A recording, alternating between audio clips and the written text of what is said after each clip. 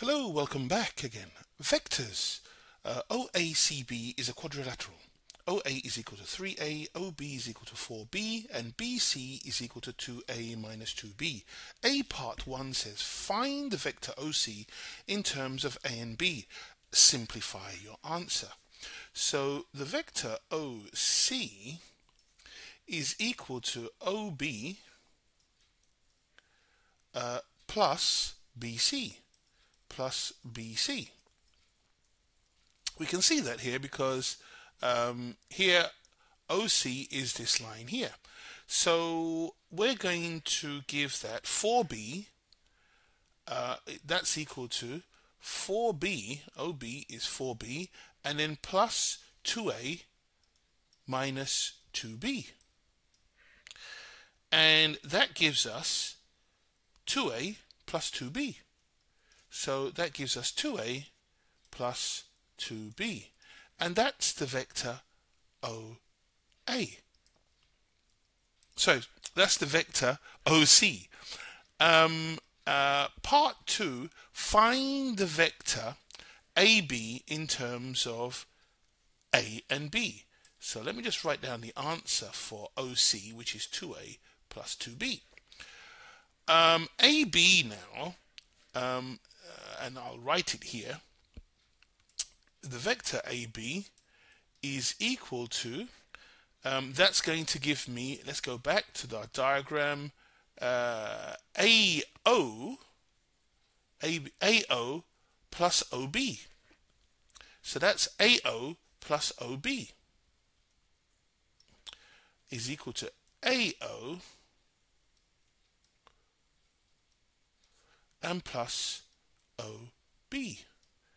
And we have AO, which in the diagram is minus 3A, minus 3A plus 4B.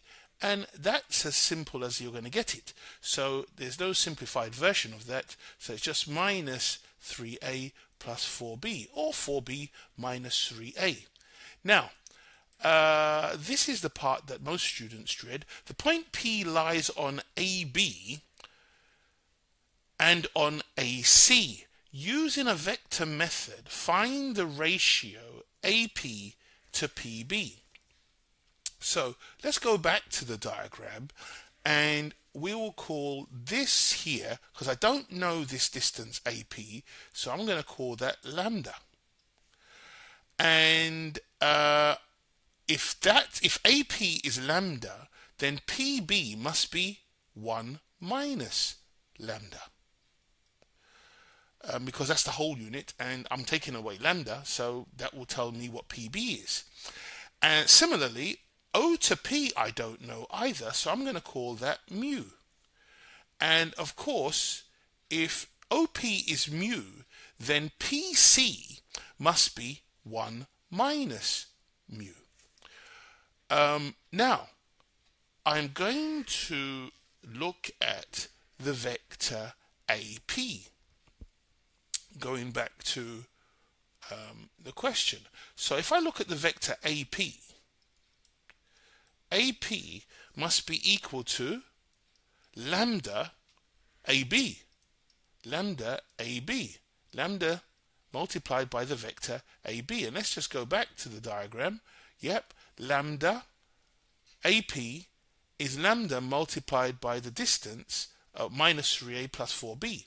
So let's do that and uh, we'll find things out. So um, put things in. So I've got lambda, lambda multiplied by um, AB, which is minus 3a plus 4b, or 4b minus 3a, as you like. Um, and that's equal to, um, and I'll put minus 3 lambda a plus 4 lambda b. Now, um, using the same uh, thing, uh, AP, um, I could get another way, um, uh, which is uh, using our other uh, value of mu. So I can also say um, uh, AP is equal to AP, and I can write or here, AP because it's the same vector method, AP is equal to AO, let's have a look at this, AO from the diagram, AO, AO plus OP. So I'm going from here to here, AO, A to O, and O to P. So let's do that. So AP is also equal to AO plus OP. And let's substitute these values in. We'll find that AO, we know that that's minus 3A from the diagram, and then plus mu OP. Or, sorry, mu, and then not OP, OC, because it's only part of um, OP is only part of OC. Can you see that here? OP is only part of the whole thing, which is OC. So it's mu times uh, OC, the vector OC. And now I'm going to substitute the values in. So minus, that's just step by step. You don't have to do that.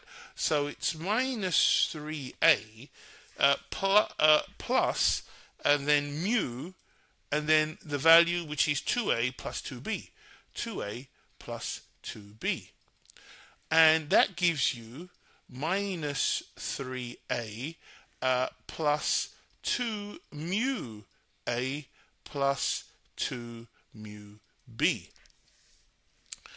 And um, you can factorize that. Um, you can take uh, minus 3a plus 2 mu a and then take a out as a factor. So I'll write it, I'll do it step by step. So minus 3a, let's get it together, plus 2 mu a, and put that in brackets uh, to show you what I'm doing. And then we've got plus 2 mu b, because we're going to equate coefficients and then solve simultaneously. That's the procedure when we're dealing with lambda and mu.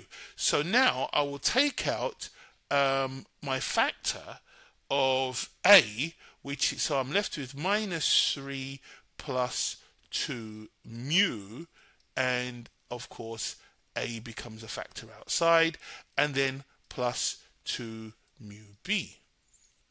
So that's nice, and uh, that gives me, I can, um, uh, let's go back up and let's write up here. And that gives me um, uh, minus 3 lambda is equal to um, well I've got uh, minus 3 lambda a and uh, minus 3 plus 2 mu. So I've got minus 3 lambda a here and minus 3 plus 2 mu here. So I can equate the coefficients of A. So therefore I can say minus 3 lambda is equal to minus 3 plus 2 mu. Minus 3 plus 2 mu. Equating the coefficients of A. Um, and if I equate the coefficients of B, so that's A, and if I create the equate sorry the coefficients of b I've got uh, 4 lambda and 2 mu.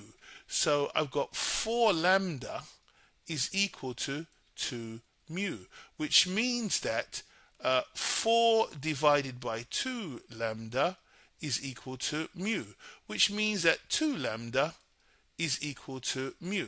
Now I can solve simultaneously. I'm going to put uh, mu uh, is equal to 2 lambda in uh, my equation 1. So let's call that equation 1. Whoops, that's equation 1. And of course, uh, this is equation 2. So I'm going to substitute 2 in 1. So I end up with minus 3 lambda is equal to minus 3 plus 2 times 2 lambda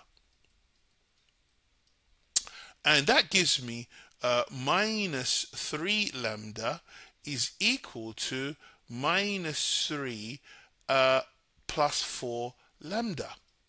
That's nice. So that gives me uh, uh, 3 is equal to 7 lambda, which means that lambda is equal to 3 over 7. If lambda is equal to 3 over 7, uh, if, and I put right, if lambda equals 3 over 7, then 1 minus lambda, uh, that's AP, then uh, AP, AP, let's go back to the diagram, AP, A to P is, is lambda, that's giving me 3 over 7. Then P to B must be 1 minus lambda. So if AP, if lambda is equal to 3 over 7, then AP is equal to 3 over 7. And therefore, PB, PB must be equal to 1 minus 3 over 7, which is equal to 4 over 7. So um, AP to PB, AP to PB, which is the question that they want you to find, um, AP to PB, the ratio, must be uh, 3 over 7 to 4 over 7 is equal to 3 over 7 to 4 over 7 and therefore the ratio must be 3 to 4. And that's 5 marks.